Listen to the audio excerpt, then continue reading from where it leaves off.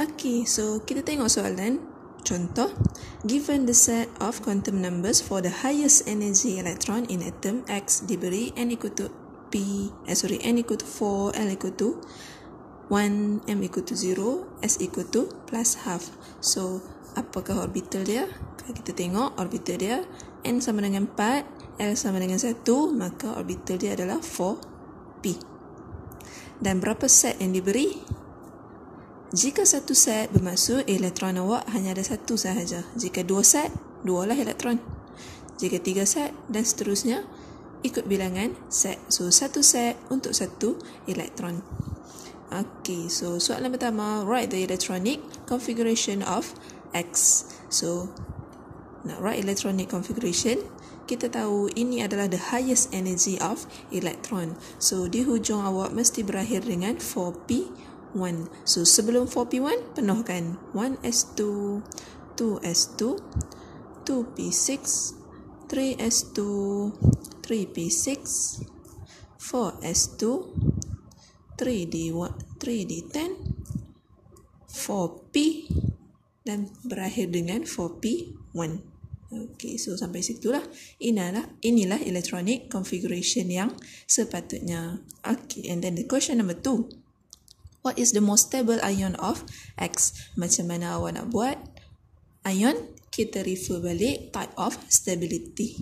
So, sebelum kita refer type of stability, kita kena tengok the highest principal quantum number. So, awak ada principal quantum number apa yang tertinggi? 4S dengan 4P. So, 4 dengan 4 eh. Either awak nak penuhkan jadi 8 atau awak nak buang semua sehingga jadi kosong. So 4S dengan 4P total up ada 3. So nak buang 3 atau nak tambah 5, buang 3 lebih mudah. So bila buang 3 lebih mudah, apa ion awak bila awak buang 3? X3 plus. Dan electronic configuration awak 1S2, 2S2, 2P6, 3S2, habis 4 habis 4 3D 10 okay, so kita buang terus 3 elektron daripada the highest principal quantum number kita dapatlah 3D 10 dan 3D 10 refer balik type of stability.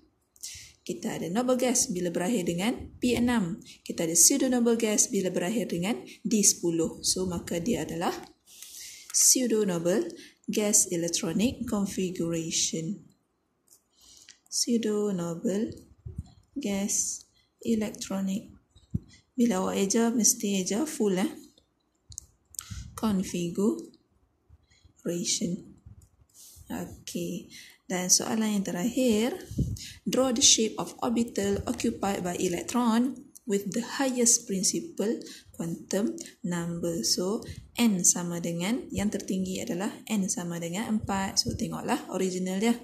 So 4S dengan 4P. So tahu kan 4S macam mana? So 4S macam awak, awak nak melukis bulat. Ada tiga axis X, Y dan juga Z. So itu untuk 4S. 4P, berapa banyak 4P yang awak ada? Awak ada 3 4P.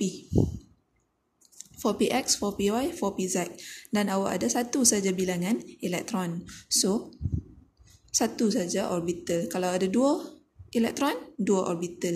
Jika ada tiga elektron, tiga orbital. Kalau ada empat, masih tiga orbital. Eh?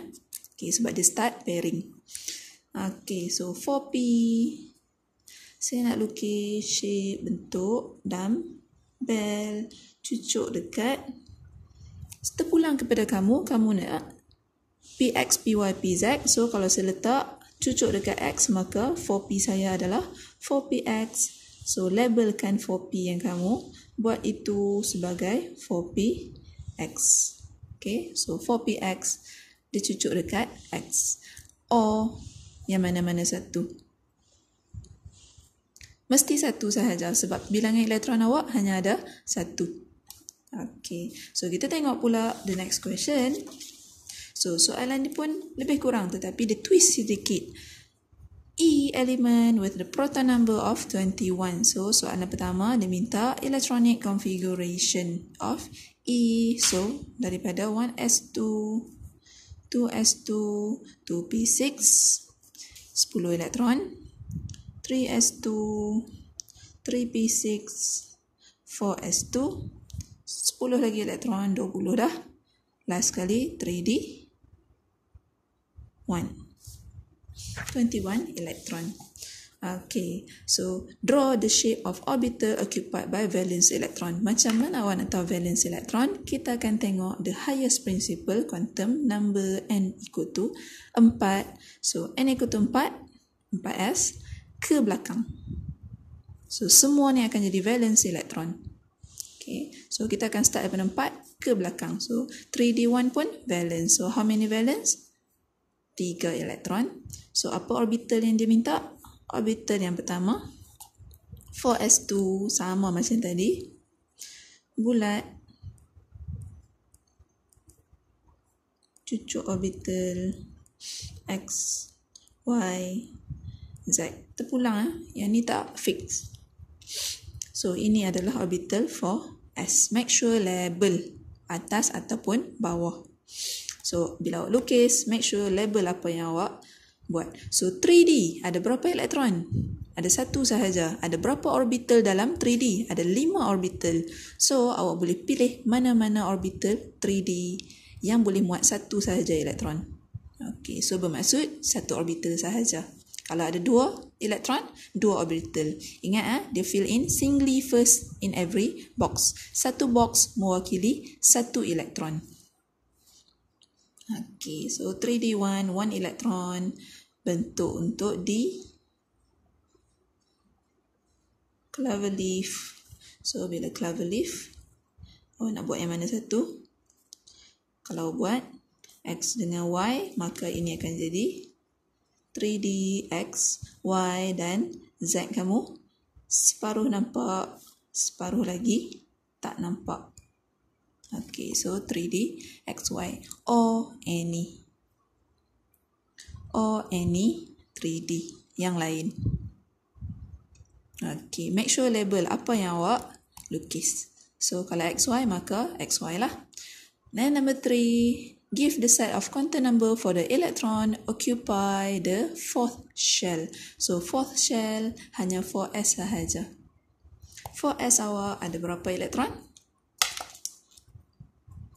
So yang ketiga 4s awak ada dua elektron bermaksud dua set of quantum number. So ingat eh, satu elektron mewakili satu set.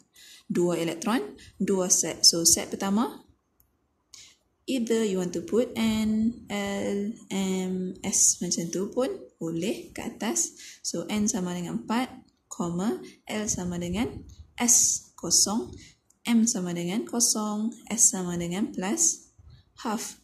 Okey. Dan lagi satu set. Empat, kosong, kosong, negatif, half. So, dua elektron dalam S orbital. So, you can draw like this. Okay.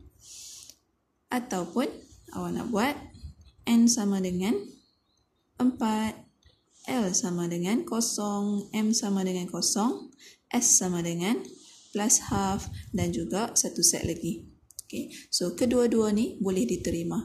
Okay, start that's it.